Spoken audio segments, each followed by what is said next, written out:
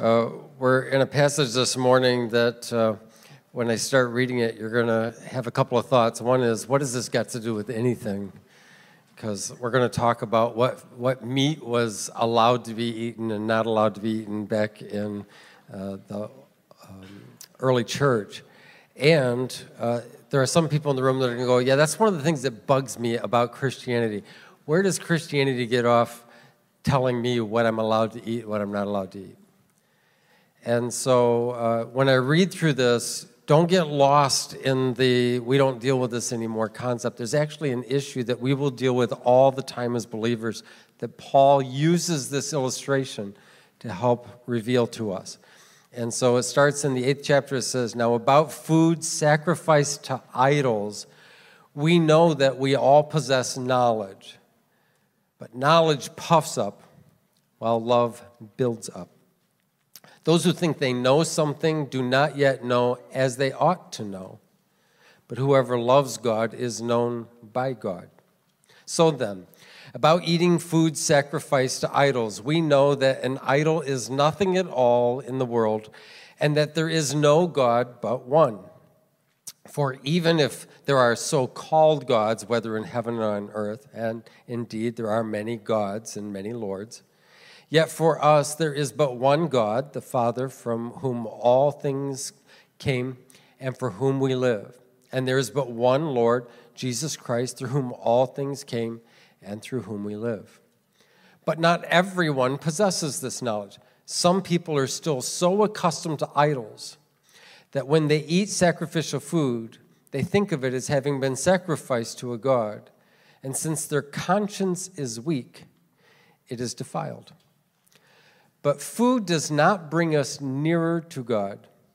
We are no worse if we do not eat, and no better if we do. Now, some of you are going to take that verse of scripture out of context and post it on your refrigerator and excuse everything you do or don't do, and that's not what it's about. Be careful, however, that the exercise of your rights does not become a stumbling block to the weak. For if someone with a weak conscience sees you with all your knowledge, eating in an idol's temple, won't that person be emboldened to eat what is sacrificed to idols? So, this weak brother or sister for whom Christ died is destroyed by your knowledge. When you sin against them in this way, you wound their weak conscience and you sin against Christ. Therefore, if what I eat causes my brother or sister to fall into sin, I will never eat meat again, so that I will not cause them to fall. Well, it's a challenging passage of scripture. I don't know how you were raised. I was raised in a very strict religious environment. Do we have any other victims in the house? Just, yeah. I don't, I mean, almost everything was a sin. I'm not making it up. We did not have a TV, not because it was not a wise use of your time, it was a sin. Uh, women were not permitted to wear jewelry because it was a sin. A deck of cards, sin. Secular music, sin. Dancing, really big sin. Uh, just everything, everything, everything was a sin. They had, they had standards for how women wore their hair and their clothes and just everything.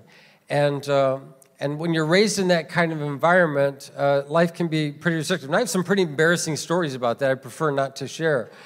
But we have, we've grown a lot over our lives. The challenge about this kind of approach is that often we focus on people's behavior because it's the easiest thing to observe.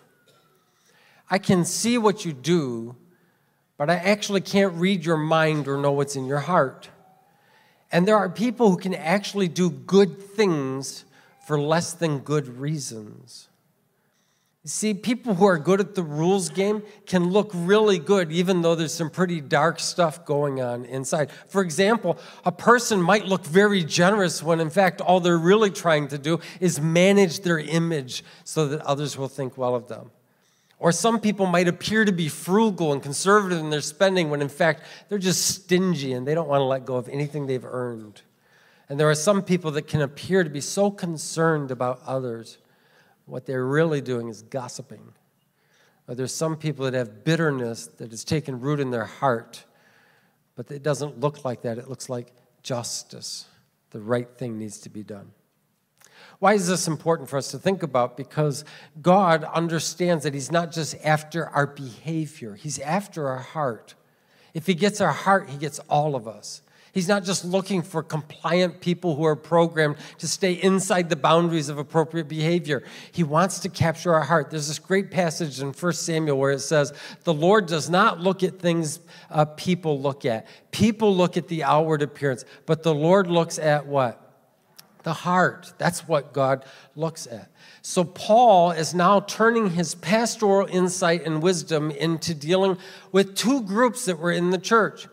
And actually, one of these groups is the rules group. You don't eat meat that's been offered to sacri- or sacrifice to an idol. They had all these rules, and there's another group, they've got all these rights, and they're allowed to do almost anything. And Paul actually uses terms for each group, and it's going to appear as though he's choosing sides, and he's not actually. He's identifying significant things about each group. And this is what's fascinating, is that Paul does not attack either group. Paul does not speak harshly about either group. And Paul actually shows how both groups are actually committing the same sin. They just don't realize it. It's a fascinating conversation. So he describes the rule group as weak. Here's the thing about rule people they do not consider themselves weak. They think other people who are not able to keep the rules are weak. And if you tell a rule person, you're just weak, they will not take that kindly, all right? And uh, if you are a rule person, you don't, I think you don't even have to be a rule person. No one, no one wants to be called weak. What does he mean by that? He means that they have trouble understanding grace. For them, it seems like something that is not realistic. They also are consistently feeling condemned in their own thoughts. They constantly feel like they're not measuring up. Their conscience is often at war with them. They just feel bad, like there's something wrong with them. And they're often anxious about issues that we would call gray areas. And we learned last week there's a lot of gray in our world. So, how do we manage that? And they often ask for clarification. They just want to know is this right or is this wrong? Because they want to stay on the correct side of the line. So Paul identifies them as being a weak group, and then he identifies the rights group as being strong. What makes them strong?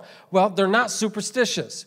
They don't think that if meat has been in a temple, that somehow it got contaminated with some spiritual residue, and now if you eat it, it will force the grace of God out of your life. They're, they're not superstitious people. They're also not legalistic. They don't think that the way you establish your relationship with God is by the works that you do for Him. And they tend not to be anxious about gray areas. They say, well, let's talk about it, let's figure it out, let's make a wise choice and they feel reasonably confident in their faith and their relationship with God. Now, as soon as you hear Paul say one group is weak and the other group is strong, you might think he's saying one group is right and the other group is wrong. And that's actually not what he's saying. He identifies what the real problem. And the real problem is not what's at, on the menu. The real problem is who's not at the table. He begins to focus on some very powerful things. How you treat each other is more important than what you eat. How you treat each other is more important than what you eat. Each group has become unaccepting of the other group. The rules tribe, they're withdrawing from those who feel comfortable eating meat that was used in a pagan ritual. When they see meat, they just they, they, they are reminded of pagan ritual. Let me give you a little bit of a background so you understand why this was such a big deal to them. In the ancient world they didn't eat as much meat as we do uh, we can just go, you can drive through a fast food restaurant and get meat at a terrifying, at least they call it meat, at a terrifyingly fast pace. And you can go into a supermarket and get all kinds of, in the ancient world, it wasn't that readily available, especially if you were poor. In fact, if you were poor in Corinth, the only meat you ever got in your life was meat that you had when you were participating in a pagan ritual in a pagan temple. You couldn't afford meat. So the only time you got it was there. So, You might think, well, what's the big deal about that? There were things that actually occurred in those rituals that if they were to happen in our country today, people would be arrested. I mean, we think that, that our society is, is, is blown through all the boundaries of appropriate behavior towards each other. I am telling you, if people did today what people did then, they would be arrested. They would go to jail for that behavior. And here's what's happening when they see another believer eating meat, for them, it is like a form of PTSD. They see that person eating meat and they flash back not only to what they have participated in that they feel badly about, but they might be tempted to re enter again. And so when they see you chowing down on your steak, they're just, they're having a form of PTSD and they feel condemned. Now, the strong, they're withdrawing from the rules tribe, but for a very different reason. You see, the strong, they could afford to buy meat. They didn't have to participate in a pagan ritual to get it. Those pagan rituals, when they had leftover meat, they would try to capitalize on whatever their profits could be. So they would put it out in the market to sell. And if you were a wealthy person, you could afford meat. And by the way, they also understood that they didn't need to participate in a ritual to get it, and they had more knowledge. They understood more about the grace of God. They had the kind of leisure available to them to involve themselves in more teaching so that they would understand the grace of God better. So, what they started doing, they started saying, you know, the rules group of people, they're, they're narrow minded, they're bigoted, they're prejudicial, they're, they're naive, they're simplistic, and I am not spending my time with a representation of Christianity like that. And they would withdraw from the table. And what Paul tells them is you do have more knowledge, but you do not have more love. Now, in case you're sitting here thinking, well, you know, that was them. We don't do things like that. Let's just pick apart a little bit what judgmentalism looks like. And signs of being judgmental you keep your distance. You just keep your distance. We don't want to get too close to some people. Here's the question to ask yourself in your life when you are avoiding somebody why? Why? Every time we avoid people, we are making a judgment. Every time we distance ourselves from people, we are making a judgment. Secondly, as judgmentalism tries to control those who think differently we try to control their behavior. That's, that's what the, the rules people would do. So they just they try to create more rules. And how many know if you've been around religious environments very long, the list of rules can get very long, right? I have conversations with uh, spiritual leaders all over the state about these, excuse me, these kinds of things. And what I tell them is we're never going to come up with a comprehensive list because, as it turns out, sinners are very creative. They can get, you can make a rule and they will work around, they'll find a way. They do. And so the issue, once again, is not just external behavior, it's going after the heart. So they just keep making rules. And then, on top of the rules, there are people who are not keeping the rules, so they want to make the punishments harsher. And uh, I'll, I'll have people that will come to me as a pastor and they'll say, Pastor, there's someone attending the church and, and they're living outside the boundaries of acceptable behavior according to Scripture. You should kick them out of the church until they get their act together. And I just asked them if I were to do that and we were to remove them from an environment of grace and remove them from a place where they can actually be instructed by the truth of God's word, what hope is there for change in their life? Because now you've removed them from everything that can be an influence for the gospel. So, that's people on the, the rule side. That's how they try to control. But you might think those, those rights people, they don't try to control anybody. In fact, that's kind of their motto, isn't it? Right? I don't try to control anybody, and nobody's going to control me. Well, that's not exactly true. Uh, they will be very unaccepting of environments where there are any standards or regulations or rules. And if you try to impose it on them, they'll just say, no, I'm not going to do that. And so it creates a challenge. So, what are we supposed to do if, if judgmental is not our, the correct approach? What is the correct approach? And Paul tells us that if we value relationships over rights, we're going to have to learn to accept each other. Accept each other. Now, this is where people get really frustrated. And there's some of you in this room right now that are starting to feel tension. And you're going, I, I am not going to, and this is the word you think accept means I am not going to approve of their behavior. And here's what you have to understand acceptance is not the same thing as approval. To accept a person doesn't mean that you approve of what they do. Aren't you glad that God, even though He didn't approve of the way we lived our lives, still accepted us in Christ because He knew the relationship with Him would have a transforming influence over time? Uh, let me give you an example of this. It says in Romans, the 14th chapter, accept the one whose faith is weak without quarreling over disputable matters. One person's faith allows them to eat anything, but another whose faith is weak eats only vegetables. This is not a slam at vegetarians or vegans. The one who eats everything must not treat with contempt the one who does not. And the one who does not eat everything must not judge the one who does. For who? God has accepted them.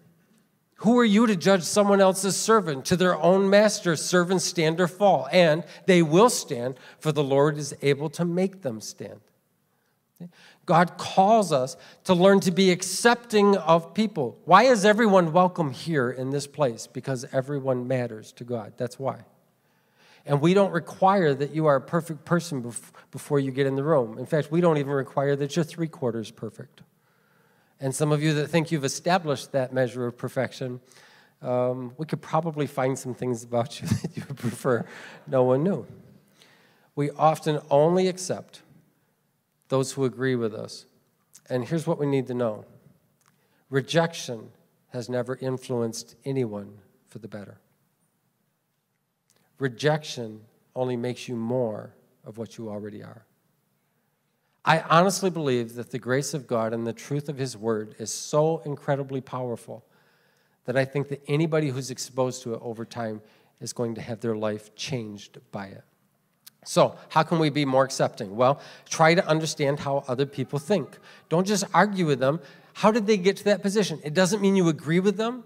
It doesn't mean that you support their position. It doesn't mean that you approve of what they do. Just how did they get there? That's very, it's a good exercise for us to work through mentally.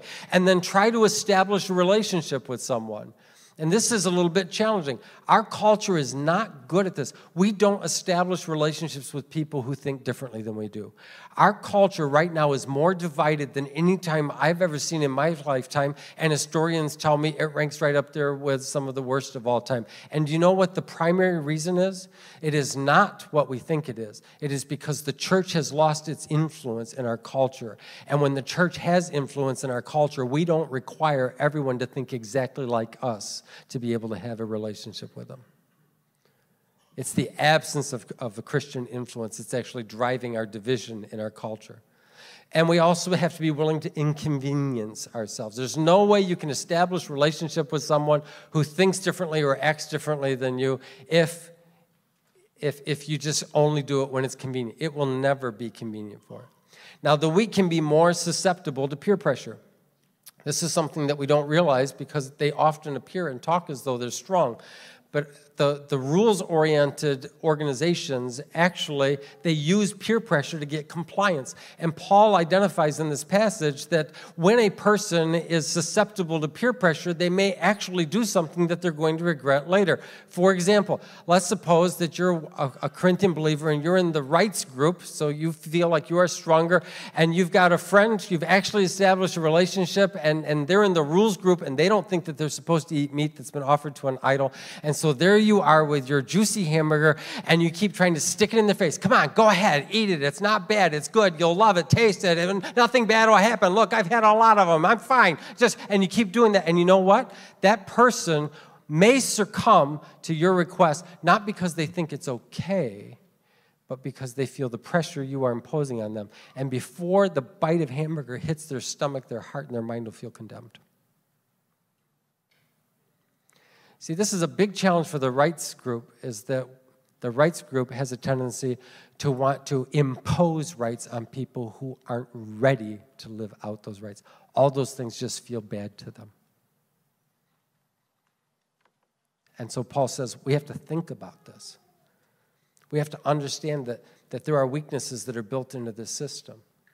So uh, let's give another example here. Uh, I grew up in a, in a house where all secular music was bad. I, I remember when one Christmas, I was just a very little boy, and, and a, a little, my mother bought a, a, little, a little record, a, a, little 45, remember what those are way back? It's, it's like an eight track, only completely different. and so, and, and it was Puff the Magic Dragon. Yeah. And my dad said, that's the beginning of compromise in this house, because that's what he believed. Turns out he was right. that's another story. Um,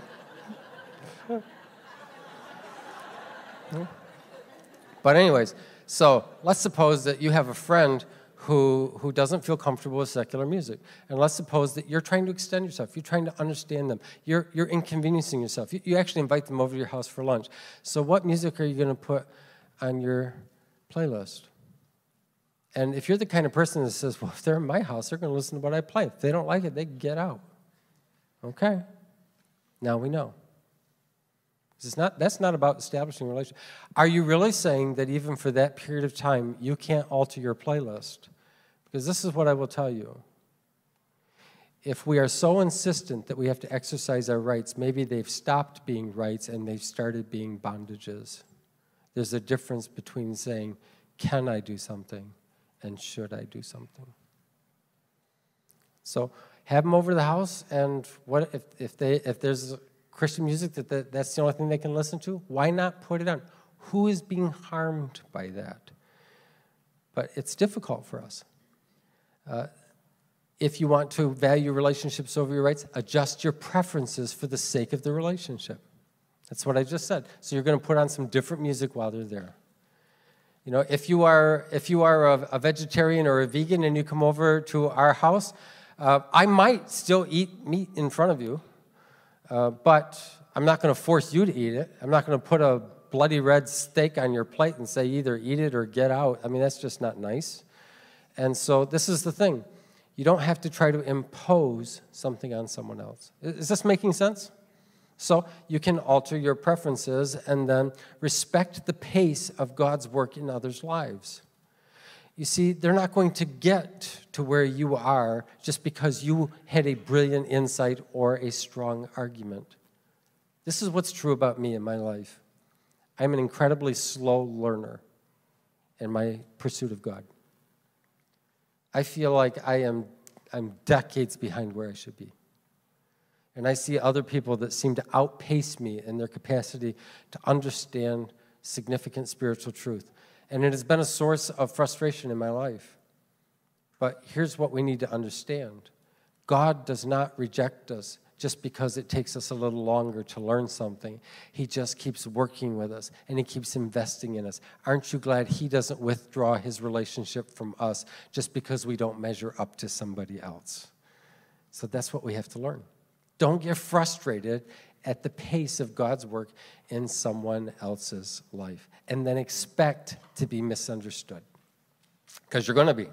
They're going to make statements about you that are not accurate and they are not true, but they will make them because it's how they think.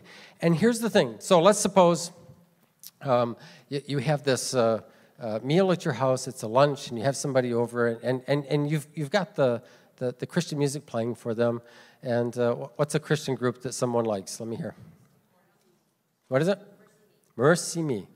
Mercy Me. And so MercyMe is playing, and, and, uh, and this person is just enjoying lunch so much, and they're talking to, oh, this is, this is, this is great. I'm so glad I came here today. And, and then they say, you know, I, I, I thought you were one of those people who would listen to secular music. I am so glad you're not one of them. And, uh, Paul does not say you should say to that person, Yeah, I would never be one of them. Don't lie. As soon as they're out of the house, you're going to have your Grateful Dead record right on, try, trying to make up for lost time. You know, just I, I know how some of you work. You just they'll hear it. You play it loud too, and Paul is not saying you have to pretend. He doesn't say you have to lie. He doesn't say you have to agree with them. You just say, you know what? Honestly, I don't think that secular music necessarily has a detrimental effect on people who listen to it. I think it can on some, but not everybody.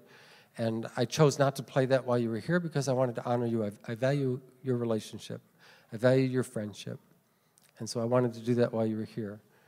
But I actually wouldn't be critical of someone who, who listens to different groups.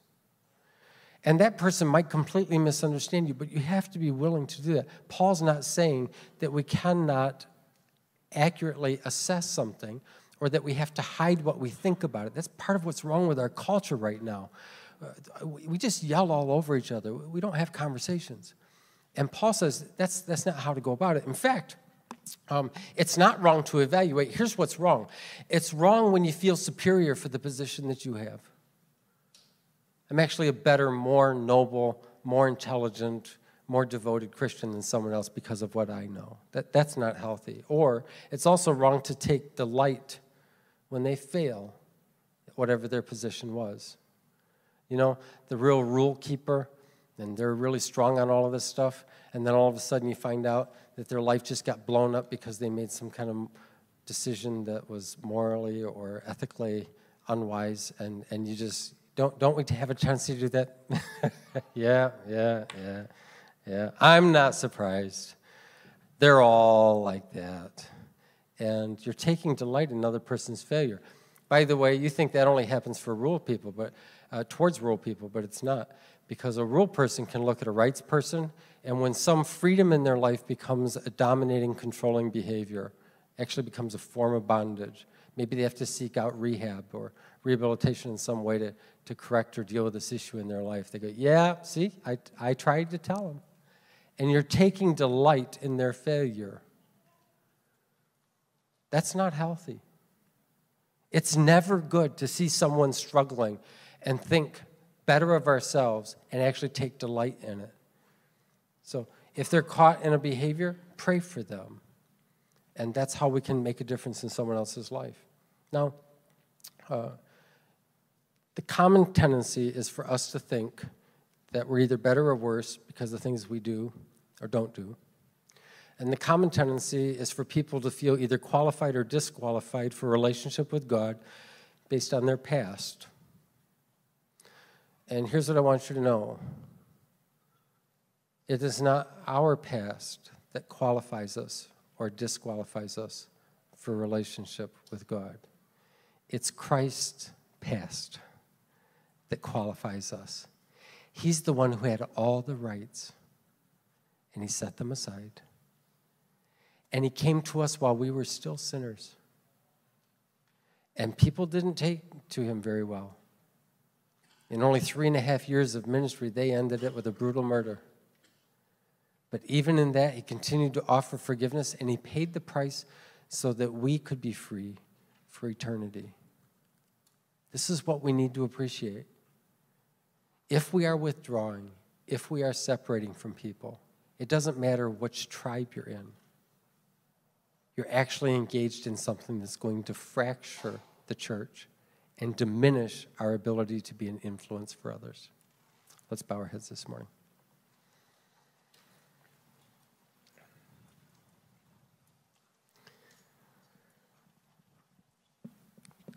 I think um, probably there's some people right now thinking thoughts like, you know, Bible doesn't the Bible call us to be separate, and doesn't the Bible say, you know, bad fr- friends corrupt good behavior, and and and the Bible does say all of that.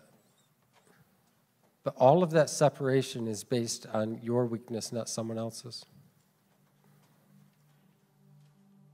If something is going to be tempting for you, then maybe there's some people you do need to distance yourself from but wouldn't it be an incredible testimony to say to them, you know, maybe this is something you can handle in your life, and that's fine.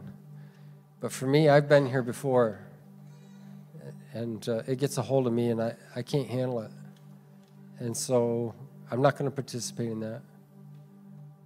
What an amazing testimony of humility instead of just trying to look down on someone and saying, I shouldn't be connected with you in any way because I'm better. Because none of us are.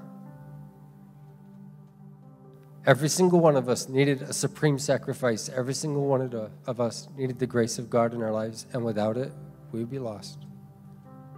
We're not better than others. We're just grateful for what God is doing in our lives. Father, for those of us who have issues in our lives that maybe you want to address, would you help us today not to hear it as condemnation? And would you also help us to understand that just because you're dealing with us doesn't mean we have to make it a rule for everybody else? Would you help us find ways to try to connect with others who, even though they think very differently, they are still your child and you are doing amazing work in their lives? And maybe you will use them to influence us, and maybe you will use us to influence them. But at the end of the day, we will give a testimony of your grace and your gospel to the world because you are doing great things in our lives. We thank you for that in Jesus' name. Amen. Would you stand with me this morning?